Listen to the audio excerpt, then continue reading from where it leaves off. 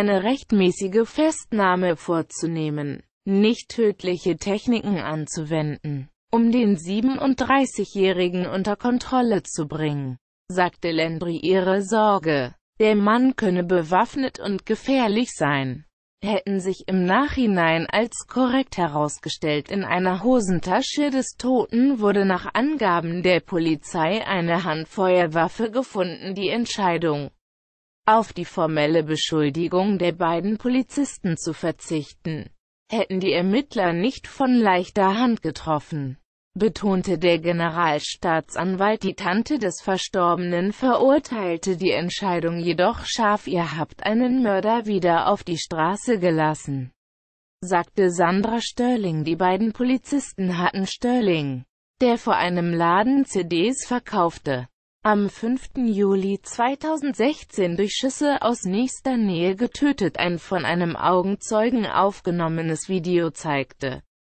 wie die Beamten den Afroamerikaner auf den Boden werfen und festhalten während sie mit dem Mann ringen.